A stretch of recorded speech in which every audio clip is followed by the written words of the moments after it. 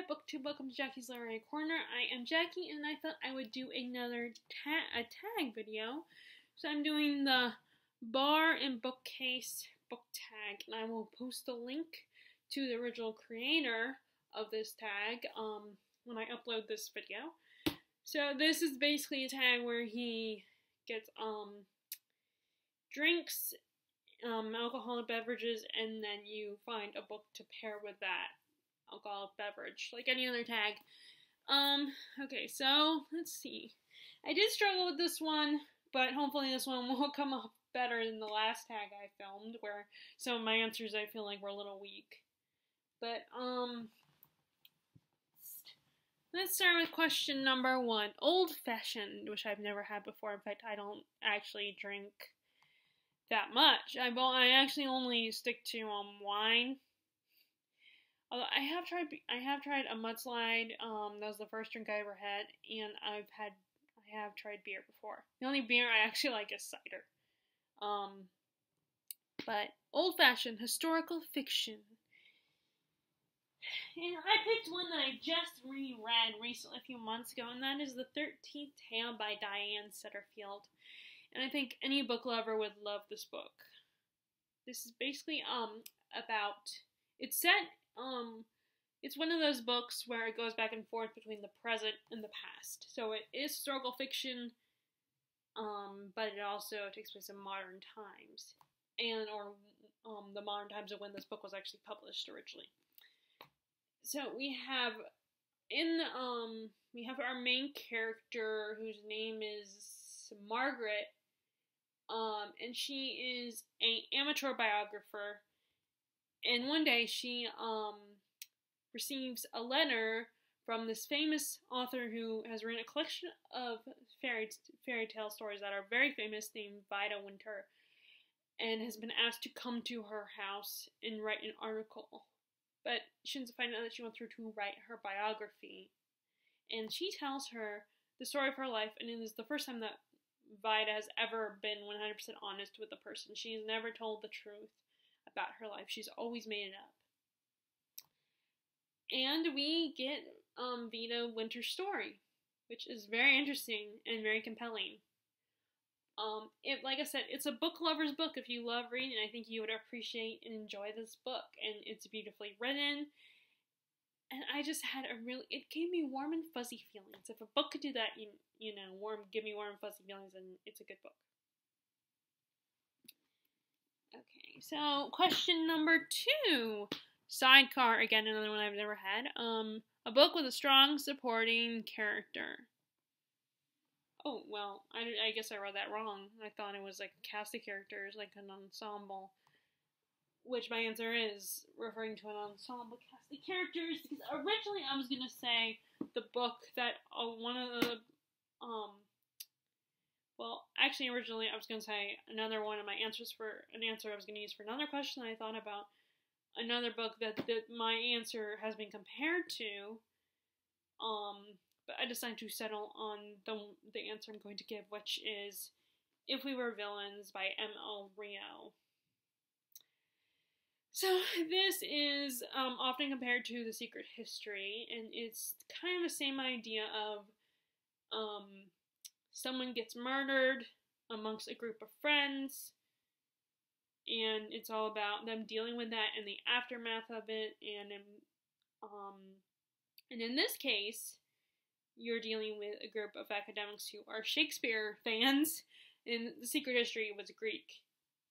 But in this one it's Shakespeare and they have been placed in there they play out the roles that they always been have been cast in in their whole lives and our main character was supposedly accused of being the murderer, but he might not be. He might be more innocent than we realize, and he is basically telling the story about what really happened to their friend that they murdered, that they supposedly murdered. And um, first of all, this whole plot is so interesting and so engaging. Like I said, it's very. If you like the Secret History, I think you might like this one, and it's not as long as the Secret History, so I think a lot of people would appreciate that. And if you're like a Shakespeare fan, um, I think you also would enjoy this because there's so many references to Shakespeare. Now, granted, I haven't read a lot of Shakespeare, I'm, but I am familiar, obviously, with Shakespeare because I think most people who read are probably at least a little bit familiar with Shakespeare. Um, I wish I was more familiar with Shakespeare, um, but sadly, I'm not. So I think all these characters are so interesting and so compelling, and there are so many interesting dynamics between these characters and our main character, um, Oliver. Our main character, Oliver. I was about to say his name is Richard, but Richard is the main character in Secret History. But there is a character named Richard in this book. Um, it's just they're such fascinating people to read about, and you just, you know, I love reading stories about really messed up people, and these people are very messed up, um, and they get a lot of issues. I find that so fascinating to explore those kinds of people you know. And I guess it's because I'm I'm pretty high um you know, I guess because a lot of times I think we're drawn to characters that aren't like us. You know, I've had you know, I'm not as far as I can tell, I'm not a messed up person. I have a pretty healthy outlook on life and stuff like that. So it's always in interesting to me to read about those kinds of characters. Now, they I know when I say they're a strong supporting ca- group of characters, I don't mean supporting as in they support the main character because they're not very supportive. They have a very dysfunctional friend group, but they really, I think they really add to the story, add to who Oliver is and who he becomes. They, I mean, you know, because who you surround yourself with, as far you know, they influence who you are. So I think they're strong group of characters, but not necessarily in a positive way, but in a interesting, good story kind of way, if that makes sense. So also, it's written like a shape. It's written like a script, so I think that was really cool. But that's nothing to do with the question. So, just a little side note. Okay, let's see. Okay. Okay. Um. Next question number three is Manhattan, a book set in New York. And I said I decided to go with the classic that I read a, few, a couple years ago, which I no longer have, and that is A Tree Grows in Brooklyn by Betty Smith. Um, obviously this is set in New York, and it's about a young girl. Um, a young, I think she's, if I remember correctly, I think she's Jewish, and it's about her life growing up, and her relationship with her parents and her brother, and um, I believe if I remember correctly, she does end up falling in love and getting, you know, as well. There's like a little tiny love story, but that doesn't, that's not a major part of the story that comes like much later. Um, and also, I remember that her brother, her father was kind of unreliable and not the best dad. But it was just, it was really, again, warm, fuzzy feelings, even though it wasn't a happy story. It was kind of interesting to explore Manhattan a story about. Although it's not Manhattan, it's Brooklyn. So I guess this really doesn't count. Oh, damn it. Um. Well, you know, I'm sticking with it. So, um, so technically, it's not in Manhattan; it's in Brooklyn. But it's still kind of cool to explore New York during this this time that time period, the early 1900s, going um I always love like looking at New York and that through that lens of historical New York. Like I'm currently rereading um, on ebook The Diviners because it's been so long since I read the first book, and I somehow got a hold of the second. Actually, I know how I got a hold of the second book. And It was kind of a surprise, but then you know, I was like my mom saying, "Oh, now I gotta reread the first book and refresh my memory." And I remember her telling me at the time to like look at, you know, look up the book. You're Like I think she didn't want me to wait, spend my money and buy a book that I've already read. Um, but anyway, it's also kind of the same idea. It's set in the 19 that one's set in the in the 1920s. Well, this one, like I said, is early 1900s, and I think it's just so cool to explore New York during that time. The in the eclectic a population of New York and the different groups of people, especially during during that time, the early days of New York, both when like during the people when immigrants were coming into New York via Ellis Island. Um, there was so much culture in New York at the time, whether it was Brooklyn or Manhattan, and I just thought that was very interesting. Now, like I said, I guess it technically Um, well, actually, no, I guess it can count because it does say a book set in New York. Okay, so, um, anyway, A Tree Grows in Brooklyn by Betty Smith. Great classic. Okay, and next question number four Bloody Mary, a book that scared you, messed you up, and I don't have this book, and that is The Circle by David Eggers. Um, which it was, uh, I don't know if you consider it dystopian. I, I guess it wouldn't be a dystopian, but it is kind of science fictiony, where this young woman gets a job at this company, this big high tech company that's like it's like Google combined with Instagram and Facebook and Twitter, um, and all the different social media outlets combined into one giant thing. And she gets this job. May get our main character May gets this job there, and it all sudden, and it's all about like how social media influences people and what things could become in the future. It's kind of crazy because it seemed not that different from now. You know, where people were constantly being, you know, your life was always on camera. Every little thing you did was on, you know, if someone didn't like something that you posted, then it was like, oh my god, what what does that mean? I mean, I, do they not like me or something? And it was everything. And so, in May's whole life becomes about this company. And she even ruins her relationship with her boyfriend because of it. And because she's so determined, like the company wants her to put her family and friends on camera. They want to, you know, put her her personal life on camera, and she's cool with it. But her boyfriend isn't so cool with neither her her parents and it's a very disturbing, you know, and it what's the word that um it scared me because I mean I wouldn't say it entirely messed me up, but it did freak me out a little bit because it's not that it's almost it's not that different from today. And if we're not careful, we could become, you know, it could be dangerous putting your whole life online, which I'm saying that just as I'm filming a, a booktube video. But um, yeah, it's it's it was scary because it's a lot closer to our reality.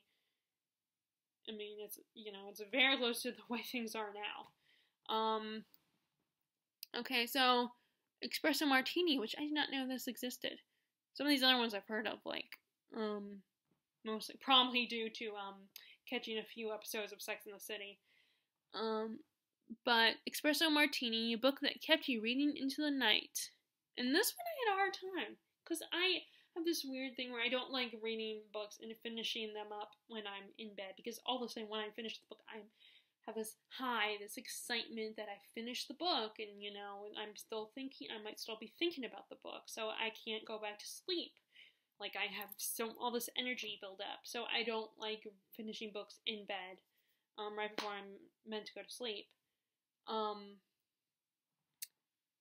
so I picked a book that I was trying to get finished before I went to bed. And that and that was a book I started like a year ago, and that is Needful Things by Stephen King.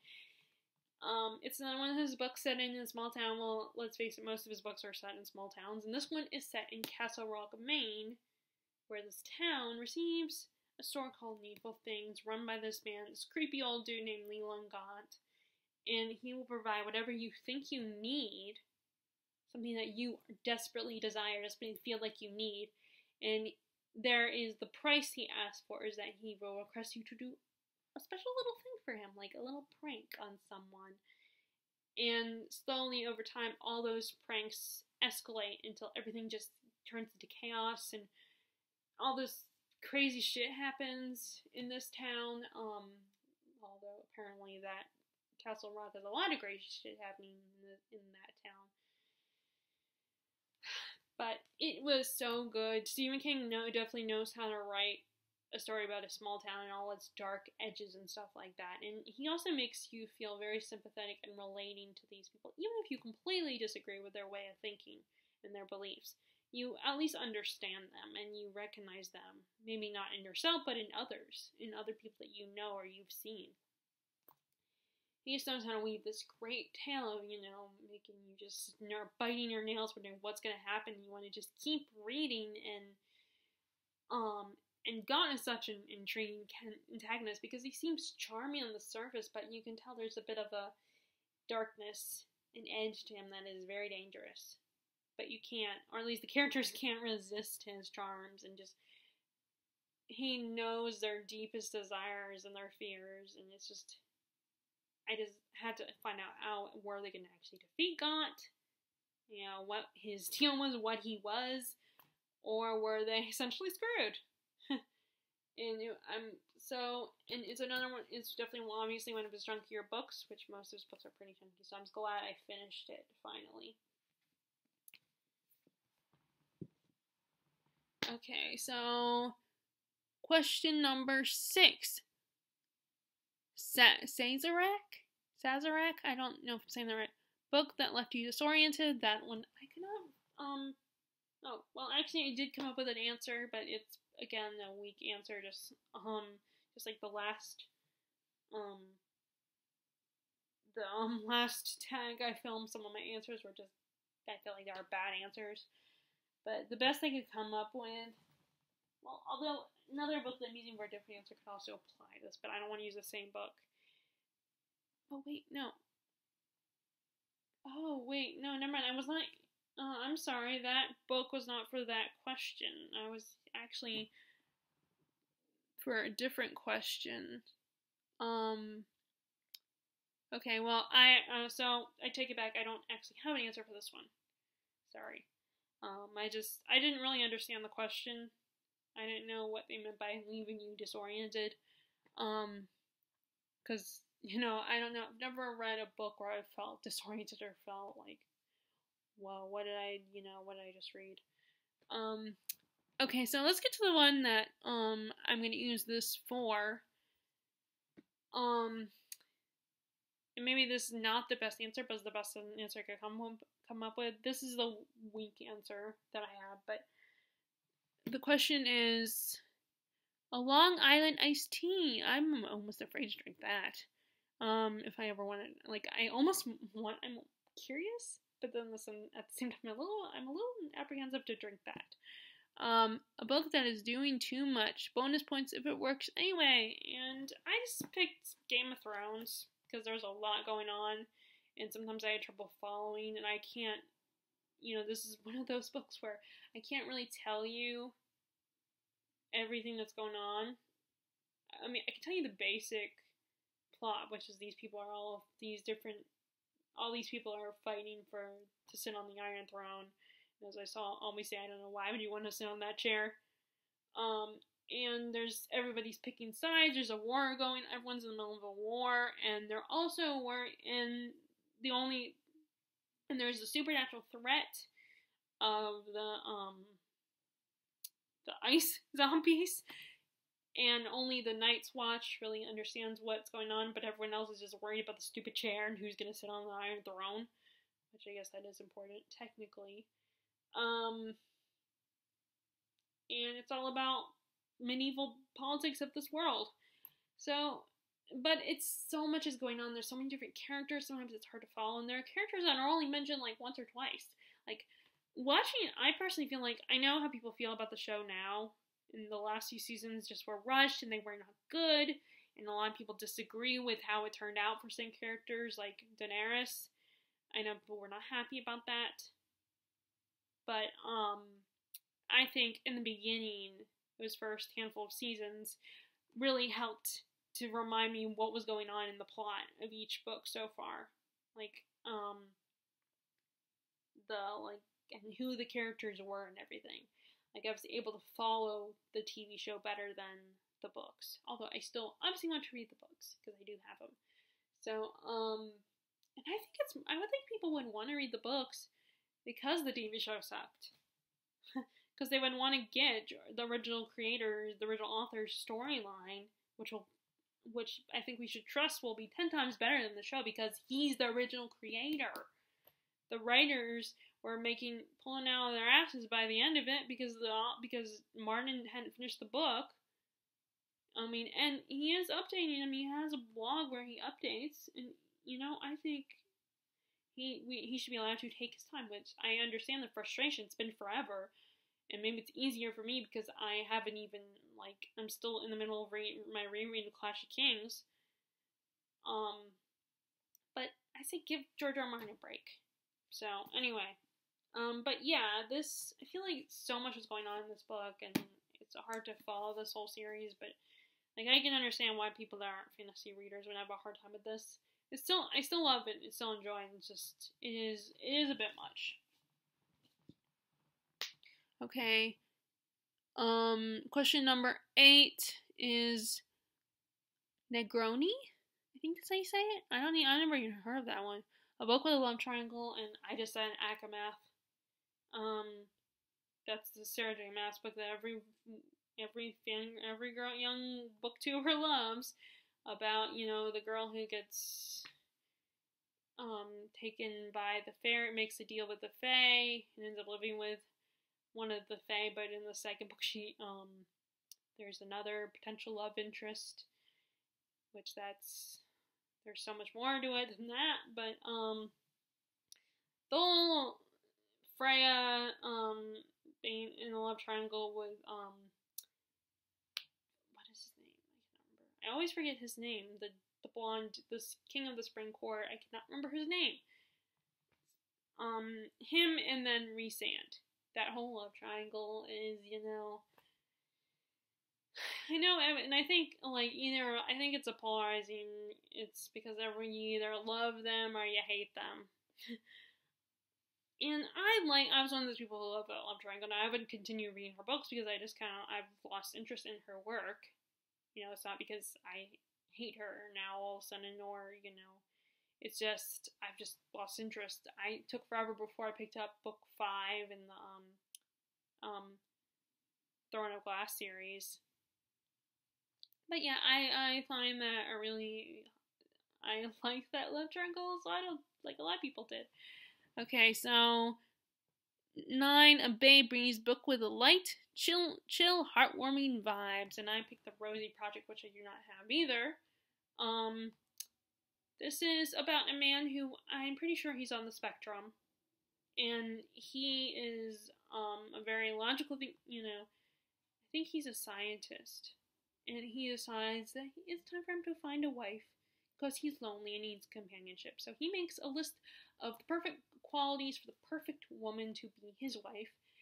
Um, and he goes on a series of dates with help from um, either his brother or his sister. Um, and none of them go well until he meets the delightful Rosie, and she does not meet any of his criteria. She has almost has almost meets none of his requirements. But he's intrigued by her. He's very interested in her because she's a very different, very unique person. And it turns out that she is trying to find her biological father, and he is a he's not just a sign he's a geneticist, I believe. So she asked him to help her find him by looking at DNA and comparing her DNA to these three different guys who potentially become her father, could be her father and it's a rom com, so I'm sure you can guess what happens. It is it was a cute one, and it's kind of nice to see this kind of representation in in a rom com. Um, the other another, it's also a series. I think it's a trilogy as of right now. I don't know if the author's gonna write any. I don't know if the author if he's gonna write any more books, but so far it's a trilogy. Um, and the only other book where I've seen a love a kind of person who might, I think, might be on the spectrum, although I don't know, I think she just has other, she might have other mental health issues, is Eleanor Oliphant is completely fine. So when I read that, I was thinking she might be on the spectrum too, but it might be other things with her. Um, so it was kind of nice to see a story like that. And I think it is cute. It's a very sweet story, you know. I love those kind of relationships where two characters are completely different and opposite in personality and then they come together and they just somehow work you know of course in the real world who knows if they would actually work um okay 10 dark and stormy a book that's dark thrilling and menacing bonus point if the setting match matches and i said um, The Shining, um, by Steve, another Stephen King read. And most people probably know about this either from the from the book or from the Stanley Kubrick movie. Um, this is basically um, a story about the um, Torrance family, and they are given in, in um, Jack John Torrance. He is he has a lot of problems. He's had a lot of problems. He um, he got fired from his job because of those problems. He's like an alcoholic and he has anger management issues. Um, and so he gets fired from his job, and his friend is like, "Okay, I'm gonna give you, well, I'm gonna help you out here and give you this job as a caretaker for the Overlook Hotel in Colorado, in the Colorado Rockies." Um, and this hotel, they, him and his family, his wife and young five-year-old son, are going to take care of the hotel during the off season.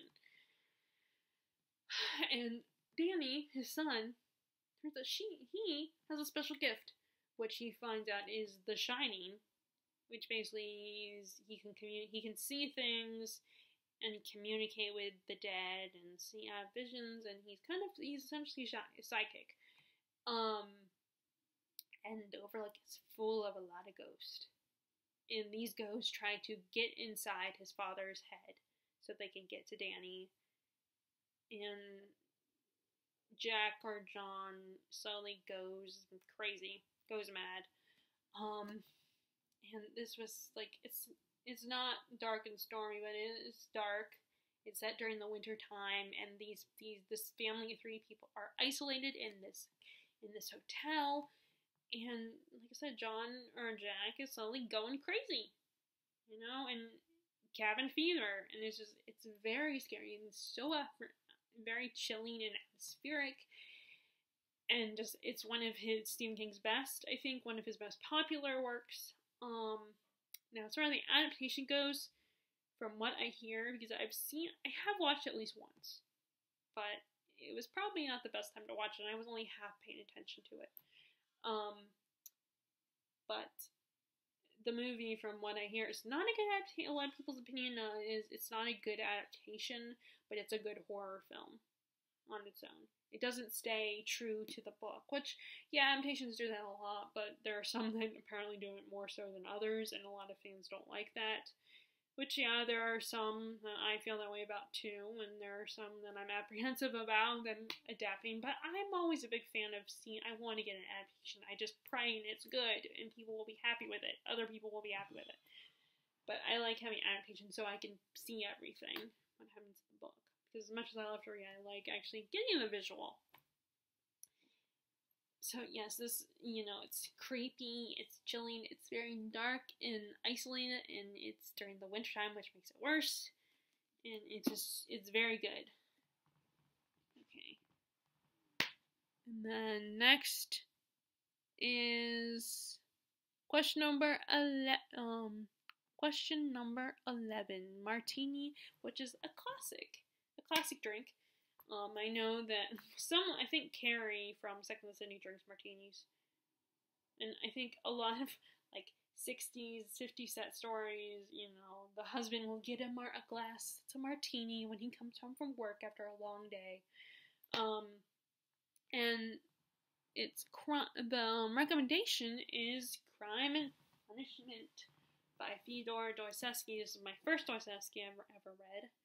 Um, this was so good, and it could also be right time, right time and place, because you know I did. I was surprised that I loved this as much as I did, but it was so interesting, and compelling. It's basically about a student, a young man that he's broke and he's in debt and needs money, so he comes up with the perfect crime to um and it's when he finally commits the crime, it's all about his guilt and his fear of getting caught, his slow paranoia, that he's going to get he's going to get arrested because there is a police detective on the case trying to figure out who committed this crime.